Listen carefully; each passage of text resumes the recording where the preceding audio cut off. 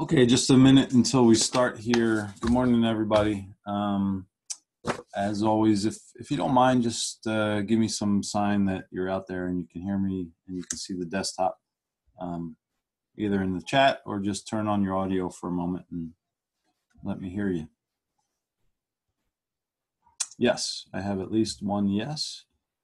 Um, and again, you know, to to help you guys have some control on the throttle of uh, of the pace of this course, take a look at your you know your participants. If you have a participants window at the bottom of it, there should be some indicators that you can say yes, no, go slower, uh, thumbs up. I think you can ask for a cup of coffee if you want.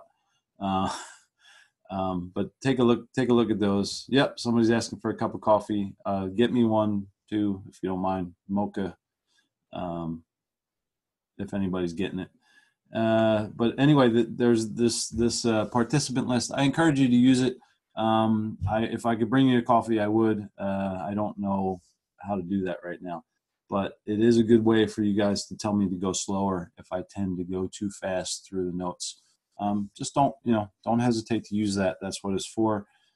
And as always, the chat is there. And good morning to you too. Thank you for the the pleasant good morning. Um, so let's let's let's uh, let's get going. I I have to say somehow my notes I had a hard time posting them last night. It was weird. It was like Canvas was full and it just couldn't eat any more any more uploads. Um, so it, it it didn't allow me to post it in the normal way. I had to post it at an external link. I hope that that was okay.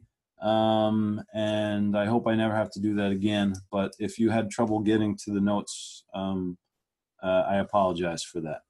But they are there. Uh, and the, the, the last thing I want to do, I have to clean up a little bit of a mess that I made last time. This is a simple problem that I was going over last time.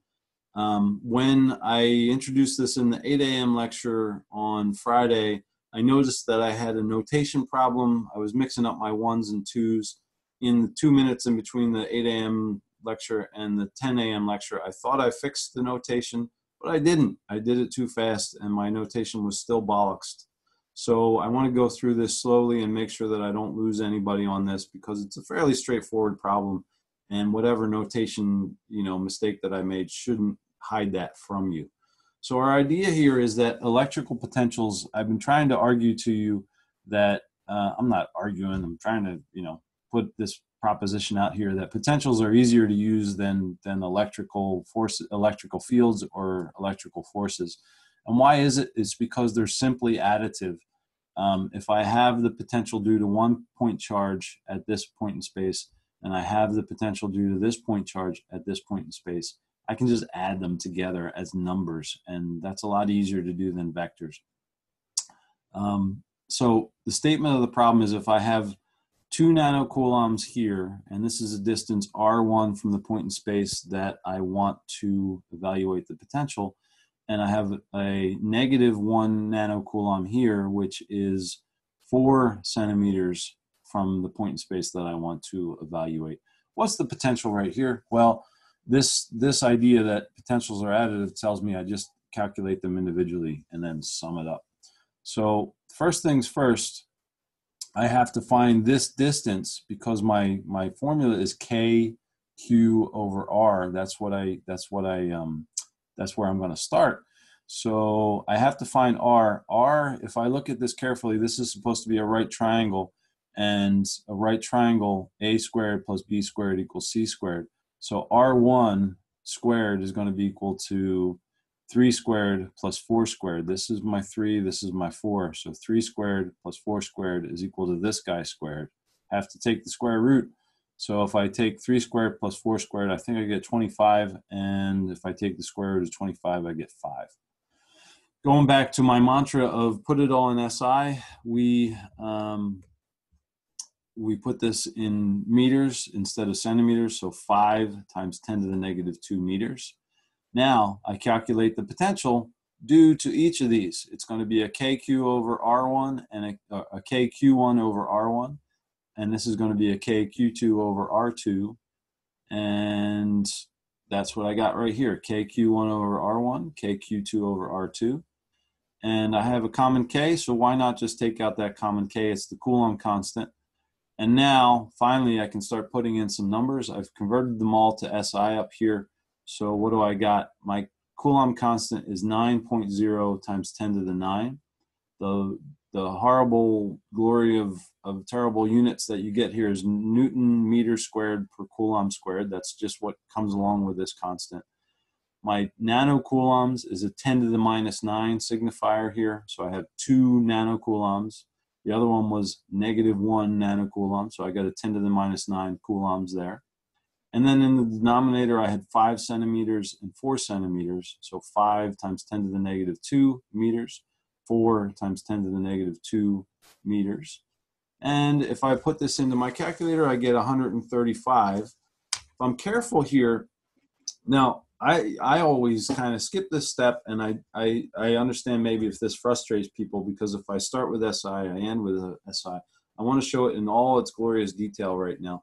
So I started out with Newton meter squared per Coulomb squared. That Newton has nothing to do with anything over there, so it just carries over. My meter squared is going to cancel out with that meter, and this Coulomb squared is going to cancel out with that Coulomb. So I get a Newton meter per Coulomb, 135 Newton meters per Coulomb and you're like, what is a what the heck is that? Well, a Newton meter is in SI a joule. So if you and that's hard to remember, but you could go back to work. Work is defined as force times distance. So what's the units of force? Newtons. What's the units of distance? Meters. So we have units of energy here, which I know in SI is joules. So I got Newton meter, that's a joule, and a joule per coulomb is a volt, right? That's our new friend is the volt is a joule per coulomb. So the last part that I skipped through in my example, which I'm, you know, I'm trying to just show every little horrendous step as I go here so that I don't, I don't skip anything and I don't make any more mistakes is I rounded that off to 140. Why? Why did I round that off to 140 from 135? Well, if you look back up here, this is part of the course I'm not really I'm not really dinging you guys on. I'm not really holding you this to too much. I'm not really emphasizing it because you're not going to be engineers. Um, you're not going to you know you're not you're not trying to build a bridge that I need to drive over and I need that specific precision.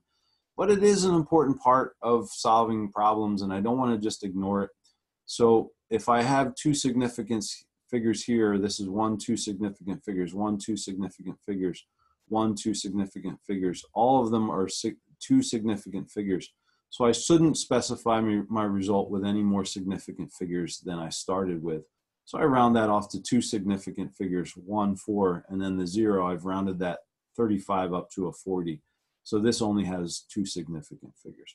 So I apologize. This is the second or third time we've seen this stupid example.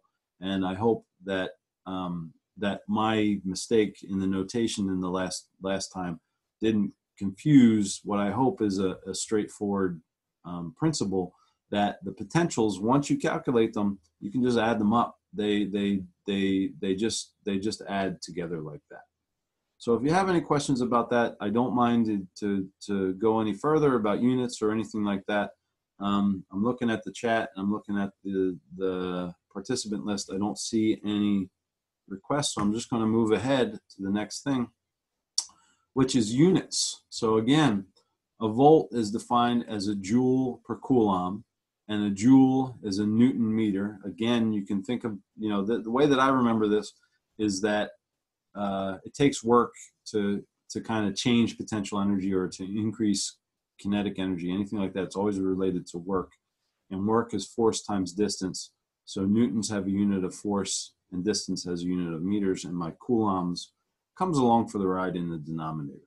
If you really, really want to dig down into this and see what's going on, then a Newton, I remind you, you can look this up back in your book, or you can figure this out just by, you know, what's happening with the force.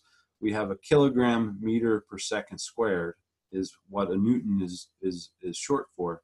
And a joule is a Newton times a meter. So a joule is a kilogram meter squared per second squared. So in all of its glory, a volt is one kilogram meter squared per coulomb per second squared. You almost never need to know that. It's really kind of most of the time all you need to know is that a volt is a joule for joule per coulomb, and that will get you through, you know, 95% of the problems. But I show this here for the people that, you know, are interested in where the units are coming from. Okay, so if there's no questions on that, I'll allow you to digest that, and then I'm going to move on to a little bit more of a, uh, um, maybe a, a, a more of a challenging concept here. Okay, so um, the the idea I introduced last time was uh, we're trying to figure out some way to to analyze circuits. And if you look at this mess behind me, this rat's nest of, of circuit behind me, how would we figure out you know what's going on, what current is flowing through this? We're going to build up the tools to do um, to to to attack circuits like these, but we'll start slowly. And the the first thing that we want to introduce is this idea that current um, the current into a junction, the current into an element in our circuit is equal to the current out. What is this? Where does this come from? It's basically a, a reflection of the a very fundamental principle in physics, which is that charge is conserved. So you don't want charge as it goes into this light bulb to be destroyed or that, that somehow charge gets created in this process the charge is coming from this battery at a high potential on this side, falling through the light bulb and coming back to the low potential side of the battery. In the process, we shouldn't lose any of our little charges. They should they can lose energy as they go from a high potential energy on this side to a low potential energy. Remember, when I say potential, it is you know also indicating that we have a higher potential energy on this side and a lower potential energy on this side that positive charge wants to fall from higher potential energy to lower potential energy losing energy in the process it's going to lose energy uh, it's going to lose i'm sorry it's going to lose uh, potential energy it's going to be converted into kinetic energy and that kinetic energy as we slam through the structure, through the lattice of this metal, whatever this light bulb is made out of, the filament of the light bulb, it's going to bang into that into that um, that material, into that lattice structure, and heat it up. It's just going to give it thermal energy, and it's going to get hot, and it's going to glow. But in that process, we should not lose any any charges. So this is our basic idea that the current in is equal to the current out, and that's just a Another way of saying charge is conserved. Okay, so the same situation here. We have a slightly more complicated circuit. I have two light bulbs, but I still am providing a potential difference that creates a flow of current. The current into this mess is going to be equal to the current out of this mess. That's what we're, I'll, I'll, I'll I'll um, formalize this later. This is an example of what's called Kirchhoff's junction rule. We'll get to that in just a moment. But basically, the idea is current charge is conserved, so we don't want charge building up or being destroyed in either of these light bulbs. We we can allow it to have a conversion of energy, but it, it should not it should not um, it should not disappear. It should not be created in this circuit. So uh, my current in is equal to my current out. And just to throw some numbers on it, say my battery is large enough that I can create 5.7 amps of current going in here, then I know that 5.7 amps has to come out. The way that I think is the most powerful analogy to this is if we think of these circuit wires as pipes and this flow of current we could think of as a flow of water. So if I had a tank of water at the top of DeMeritt Hall and I had some series of pipes that are going from the top of DeMeritt Hall to the basement, well, whatever water I put into those series of pipes, as long as the pipes don't leak, then I should get the same amount of, of water out at the end. And that's kind of what we're saying here is I'm throwing in this fluid, this electrical fluid, this current into this series of conductors and I better get the same amount of electrical current coming back out. So I got to get 5.7 amps out. I have not given you the tools yet to figure out whether the current in this one is larger than the current in this one, or what the actual numerical values are. We're getting there, and I hope by the end of today's lecture we'll be able to do that. But we need to have some information about you know these light bulbs to make that, and we don't have that information yet. But I do know if I throw 5.7 amps in here, I better get 5.7 amps out here. Otherwise, I'm violating conservation of charge and Kirchhoff's junction rule. So let's let's actually formalize this. Here's Kirchhoff's junction rule, junction law. I don't remember who Kirchhoff was. He was probably a great, great, great physicist or a great engineer. Um, but this is the, the the law that's named after him. Basically, if you have a junction and um, we look at the sum of currents going into that junction. What do I mean by a junction? I just mean a point in space where a bunch of different wires kind of all touch and are in you know electrical contact with each other. The sum of currents into a junction is equal to the sum of the currents leaving that junction. Okay. Um, we already the the simplest version that we saw of this is a junction where we have one in and one out and our light bulb is is kind of at the middle of this. So my current in is going to be equal to my current out. But i want to i want to be able to deal with much more complicated examples. So here's a slightly more complicated example. And my junction example here is i have current flowing in from the left goes to this junction and i have current flowing out to the right and Kirchhoff is going to tell us, hey, whatever current that you had flowing in here has to, the, the sum of these two currents flowing out has to be equal to that. So it's kind of like a mathematical equation that, you know, this equals this plus this is another way of, of thinking of this. Okay.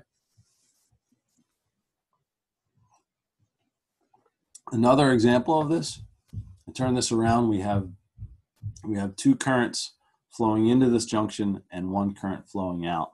So Kirchhoff is going to tell us this plus this is going to be equal to that.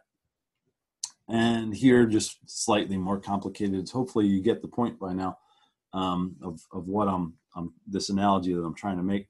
That you know, we have three currents flowing into the the junction. We have two currents flowing out. Kirchhoff is saying, hey, this plus this plus this is going to be equal to this plus this.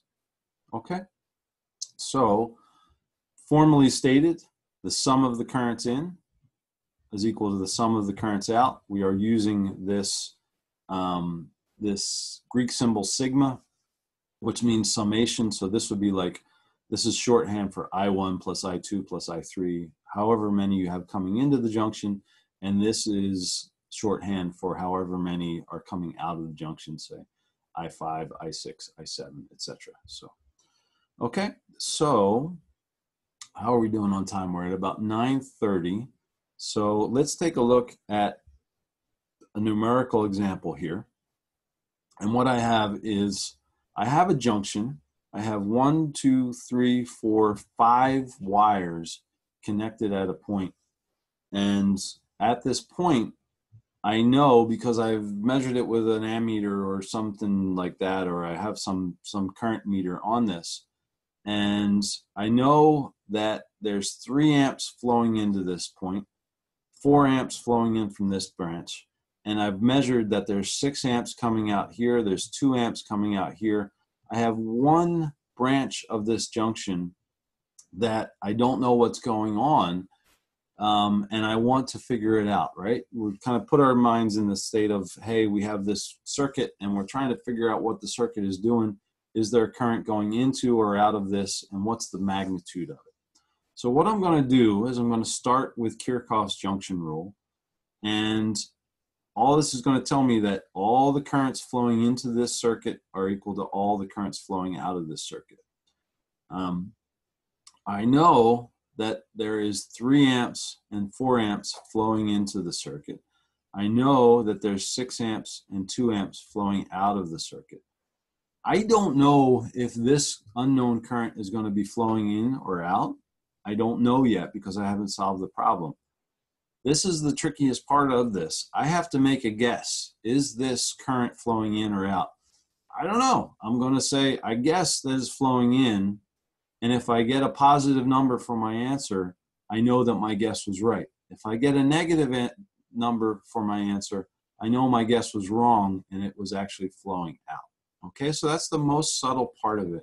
I'm going to pause there and let you absorb that before I push forward and do the math, um, because it really is the only the only tricky part of this. You guys are are are, are fine with your algebra. You're strong with solving these algebraic equations. It's here you have to actually actively put yourself into the problem and make a guess. And if that guess is wrong, you're going to get a negative number for the answer. Okay, it's a little bit weird.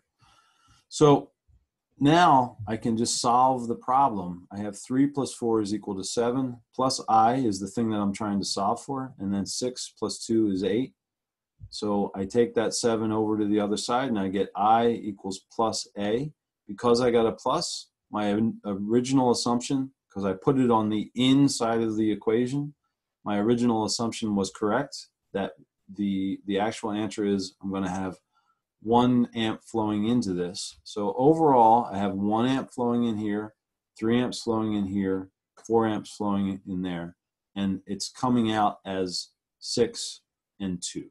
So if you add these all up, four plus three plus one is equal to eight. So eight amps coming into the junction, six plus two coming out, everything seems to make sense. Okay? So how do we how do we feel about that? Are we are we confused by anything in that, or would you like to talk about any part of that? Um, I'll pause here for a moment. I'll change my background to something sillier, a different different circuit, and if there's no questions, I will push ahead. Seems straightforward. Okay, makes sense. Thank you. Thank you for the feedback. Okay, um, and again, just, you know, the point here is make a guess. If you have this one part, make a guess. And if you get a negative number, it means that your guess of the flow direction was wrong. So I also have to comment, you know, if you hear, I don't know if you guys can hear this, but I'm, I'm hearing this thumping, banging from upstairs. My kids are doing yoga. I'm sorry, but this is, you know, I'm also doing elementary school and this is PE time. They do yoga at this point. It was a bad choice on my part to put the yoga right above my office. It is what it is. Um, okay, so let's take a look at a more complicated uh, circuit here. Again, we have a battery which is creating a potential difference. We have this potential difference is creating um, or causing a current to flow from high potential to low. Those, those, those positive charges want to get from a high potential energy to a low potential energy. And Okay, somebody says, I don't hear thumping. No worry. okay, thank you. Thank you very much.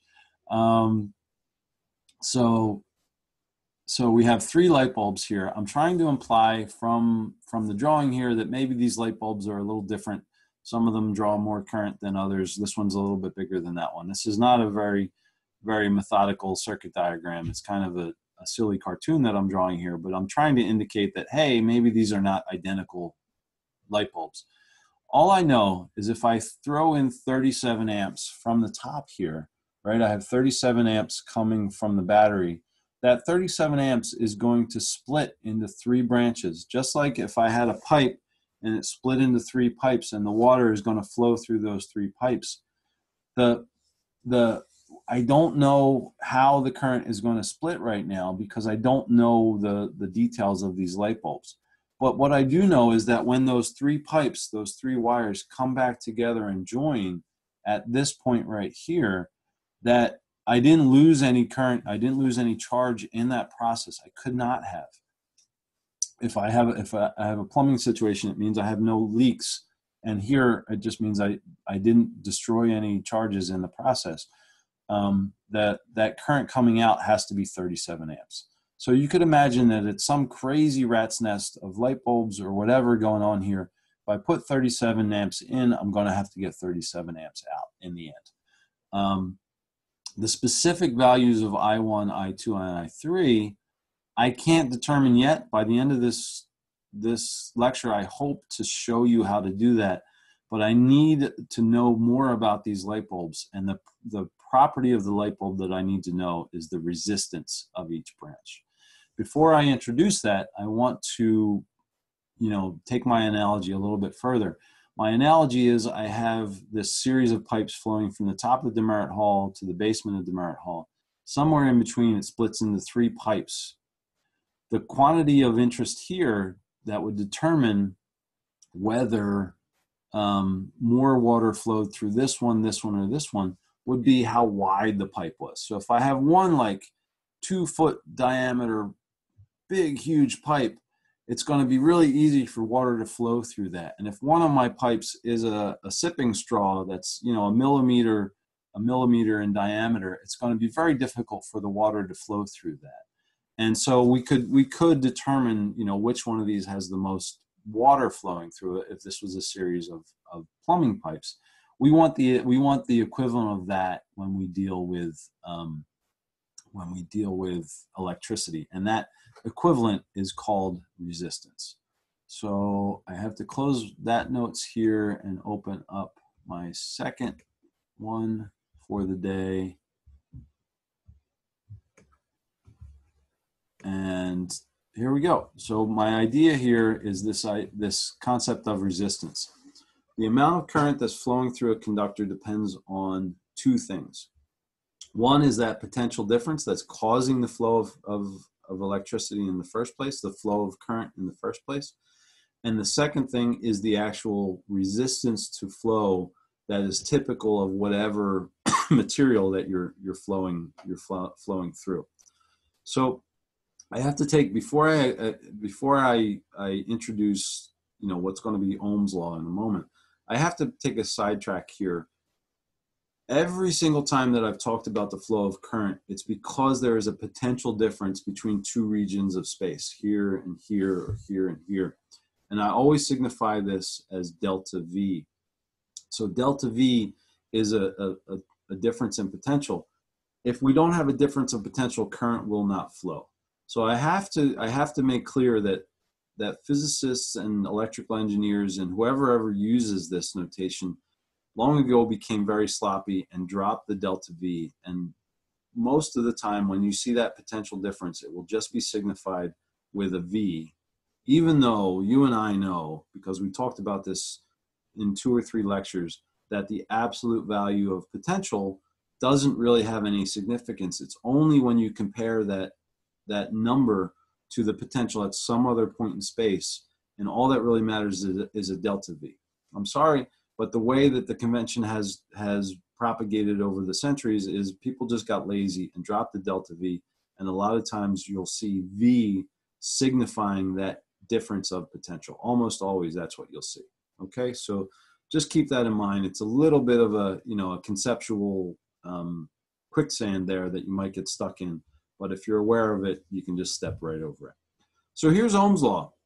This is named after Mr. Ohm. I don't, Mr. Ohm was a great man that I don't remember much about.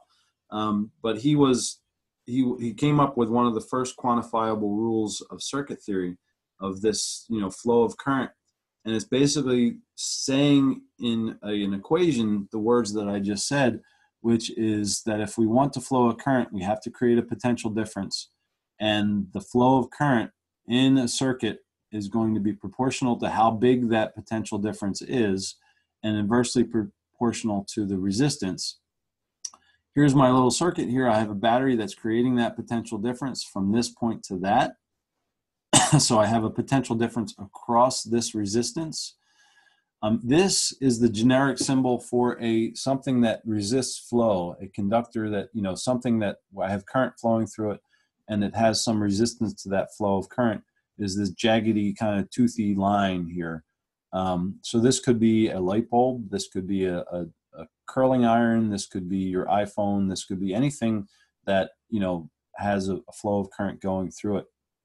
Um, and my Ohm's law is going to tell me that the current flowing through this circuit, through this current this circuit element, is directly proportional to the voltage difference and inversely proportional to this thing called resistance, which will, you know, we will, I don't think by the end of this class, but we will very shortly be able to calculate this, this quantity um, from first principles.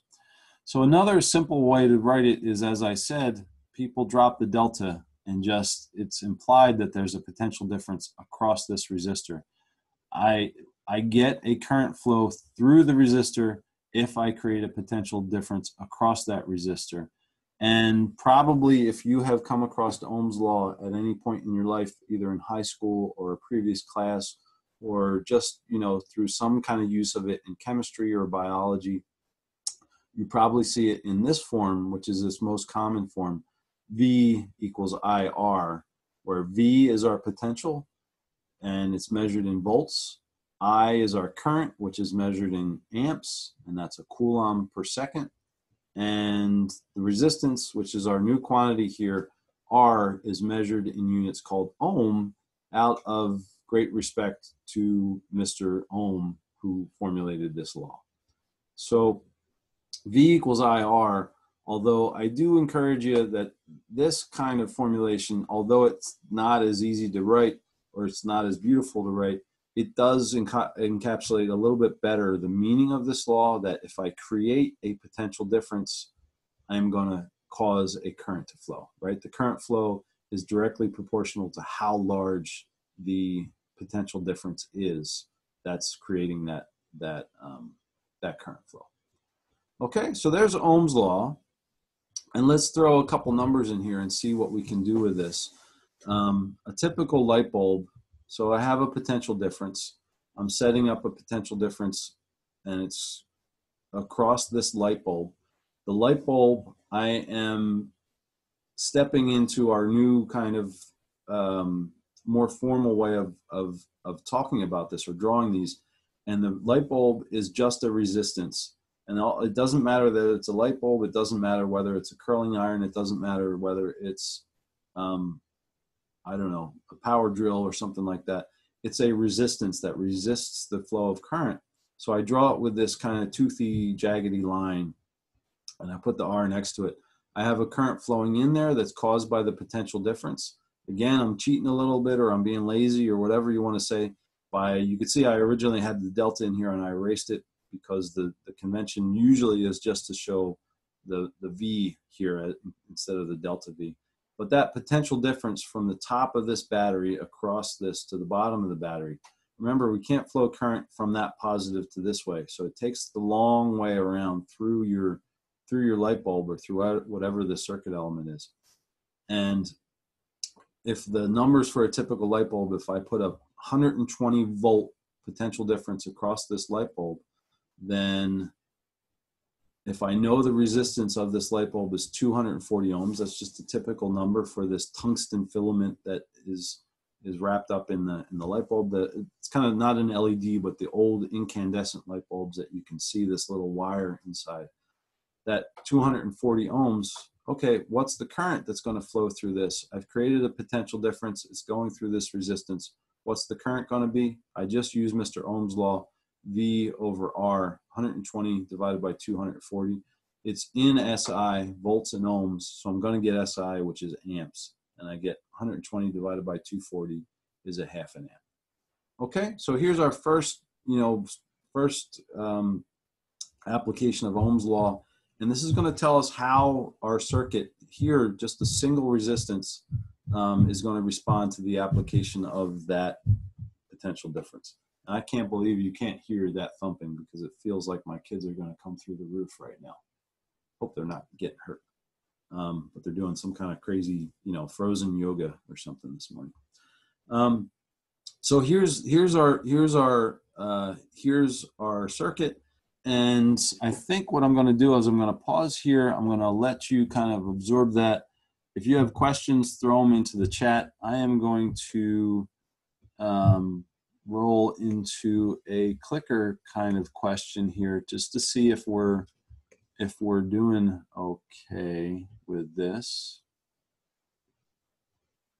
Okay, so here's your clicker question. So get out your clicker poll thing, whatever, and I'll I'll launch that in a moment. Um, okay. So hopefully right now you can see the question. The question is, I have a, a, a capacitor. I've taken a wire and connected it from the positive to the negative. We know there's a potential difference between the positive and negative plates of a, of a conductor. So if I, if I connect a conductor between them, current's going to want to flow from that positive to the negative. And in this case, I've flown it through two light bulbs. And what I want you guys to answer is what's the, you know, what can you tell me about the, the, the current through one and two? Is, um, is one greater than two? Is two greater than one? Or is one equal to two? So let me launch that poll. And hopefully you can see that.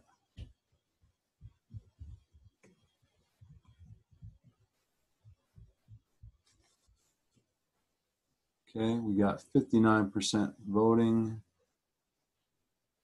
70% voting. Looks like you guys are kind of crushing this one, which I'm happy about.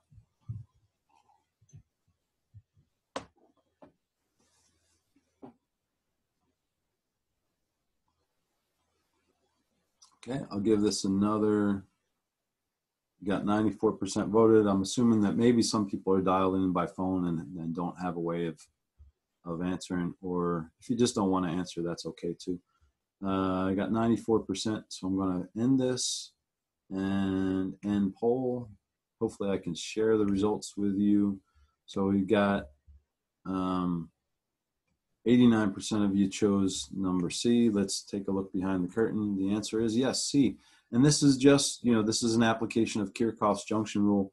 It's a slightly more complicated junction than our first initial junction because I'm coming in and then I'm coming out and I'm coming in and I'm coming out. But the current into this junction is equal to the current out of that junction. That becomes the current into this junction and then the current out of that junction. So this equals this equals this. And altogether, I can say that the current, I don't know what it is, right? Uh, I didn't tell you the potential difference. I didn't tell you the resistance, but I do know that the current going into this mess has to be the current going out of this mess. Okay. Um, let me put that aside for a moment. For those who are asking about it, there's an update on Bo. He's doing pretty good. He now can climb into tree houses, so we're pretty proud of him as far as that goes. Um, he's doing pretty good, adjusting to life out of the shelter. And let's see if we can push forward ahead with um, calculating resistances. So we have this idea of resistance. I want to give you some tools for for calculating those resistances. And the basic idea here is I want to take a simple, simple model, a simple model of um, of a conductor as a wire, right? As a length of conducting material, and that that wire, say this is copper or tungsten or nickel or iron or something like that, has a length L and a cross sectional area A. And what I'm going to what I'm going to find is the resistance of that wire. This could be the this could be the tungsten filament in a light bulb. It could be the heating element in your curling iron. It could be anything at all, as long as it's a resistance. The actual resistance value, that ohms value that I'm gonna that I'm gonna get from um, that's that I need to apply in, in Ohm's law is going to be proportional. Let me make this a little bit smaller so it can kind of fit in the screen. Um, it's going to be proportional to the length of this. So you can imagine this kind of makes sense, right? The longer the distance that this charge has to has to pass through, um, the more resistance it's going to have to the to passing because it, there's more things that it gets to to bump into along the way. The that's the L, the length of this wire. The cross sectional area. The analogy here is kind of like with my water pipe. If I make that pipe larger, it's going to allow more more more water to flow through. Same thing here with my current. If I open that up, it's going to allow more, more current to flow through. And the last part of this, it's going to be proportional to the length. It's going to be inversely proportional to the area because the biggest area is going to is going to allow more flow and there's going to be smaller resistance. It's going to be proportional to length because the longer it is, the more stuff it has to bang into and the more trouble it will have um, getting to the end of that conductor. And then there's got to be something that you know discriminates between whether that that conductor, that thing that the current is flowing through, is um, very you know allows the passage of current very easily, like a metal would, or if it doesn't really allow the passage of current very well, like wood or plastic or something like that. And this new thing we call the resistivity. This little guy here is a Greek rho, a new, you know, add new new letter for your your lexicon here. Um, the resistivity, and it's measured in ohm meters in order to get ohms in the end. So length is meters. This is meters squared. We need another. Um, we want to get rid of. We want to get rid of both of those meters. So I need a meter here and a leftover getting an ohm. So ohm meter times meter gives me ohm meter squared, and then I'm dividing by meter squared, and that just gives me ohms, which I need for resistance. So this is a number that's different for every single um, every single material, and some typical values I'll throw up here.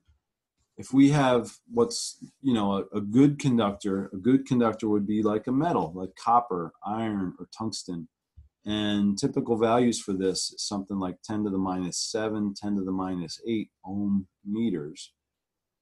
So you can see here that this, if I put in a small number for this, um, for this resistivity, I'm going to get a small number for this big R over here. So the resistance is small for these good conductors. And I have a question in the chat. Why does a larger area equal less R? Intuitively, I think a larger area would mean more resistance? Good question. Um, so basically, the the idea that I could that I could get here. Let me see if I have a, a demo that I can share that maybe elucidates this.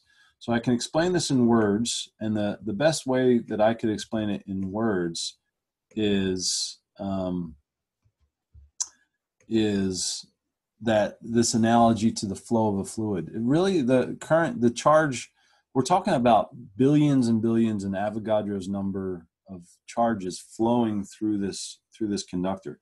It really does act like a fluid, and the more cross-sectional area that you have for the fluid to flow through, the easier for that fluid is going to be able to get through. Um, that's just my hand waving, you know, wordsy way of doing it. Maybe we can look at this demo that might um, show things a little bit better. So here we have the same exact formula. That's this is a fancier rho than I wrote, but it's rho length of the length of the conductor over the cross-sectional area of the conductor. Um, what's going to matter here? The resistivity is some property of of the material. The length, right? Mm-hmm. If we if we make it mm-hmm. longer, mm-hmm. It has more of these little things to bang into the lattice of this conductor as you know my current's going from left to right.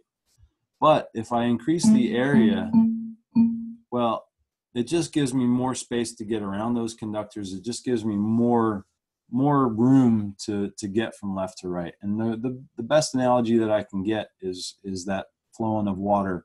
If you try to get a lot of water through a little straw it's gonna it's going to be difficult. If you try to get a lot of water through a, you know, a stovepipe, it's going to be a lot a lot easier. So I hope I hope that that helps. Um, and then the resistivity itself is going to be some kind of characteristic of how difficult it is for our charge. These little black dots are supposed to be characteristic of the the conductor itself. Mm-hmm. So if I if I mm-hmm. increase the mm-hmm. number of things that my charges are going to bang into as it's moving from left to right, the resistance becomes much greater. If I reduce the number of things that it's going to bang into as it goes from left to right, then my resistance is going to fall. Okay, we get a make sense now. Uh, thank you. I'm glad that that kind of hopefully helped a little bit. And then while I'm at it, I think, okay, let me finish up my notes. We're getting close to the end of the lecture, so thank you all for your patience. Um, I'm going to stop you at the same place I stopped the 8 a.m. session. But what I did was I showed some I showed some typical values for for uh, resistivities, right? And here's another another um, bit of quicksand that we can step in. The words are so similar resistance and resistivity. Resistance is going to be this number in ohms. Resistivity, and, and, it, and that number in ohms, I could use that number to apply to anything at all. Um, it has no specification whether the material is a piece of tungsten or a piece of copper or a piece of seaweed or you know anything like that. The resistivity is a number that is specific to the type of material that you're talking about. Copper, iron, and tungsten metals have very low resistivity. So, nope, I'm right in the middle of lecture, huh? All right, come on over and yeah, what's up?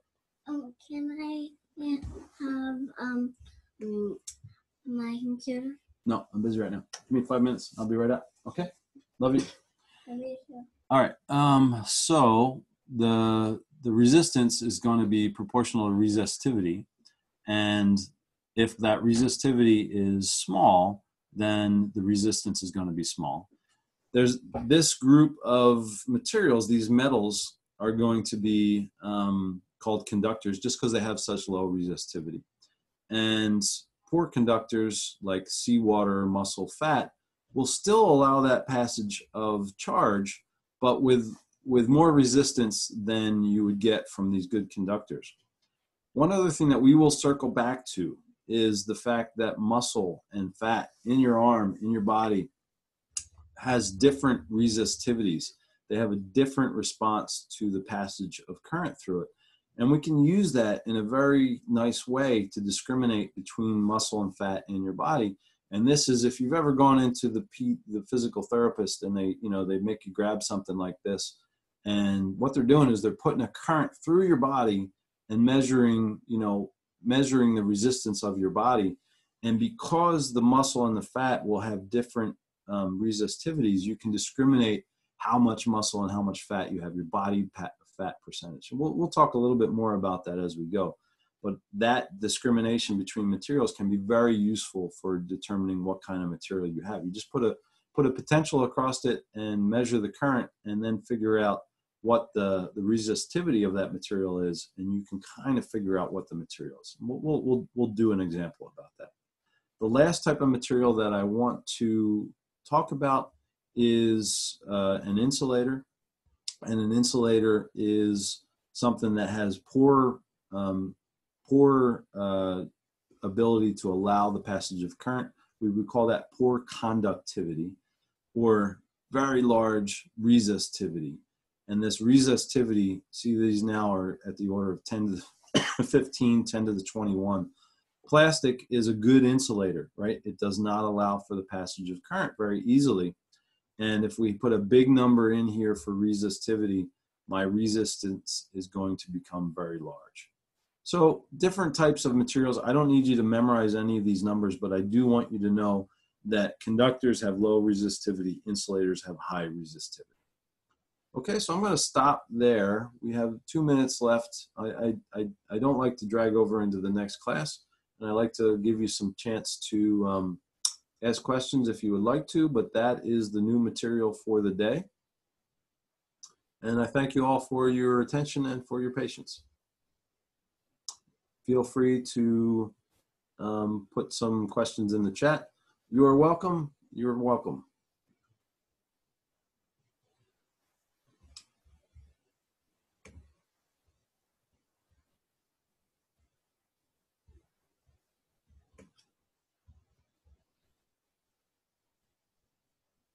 You're very welcome. Very welcome, Troy. Very welcome, Amelia.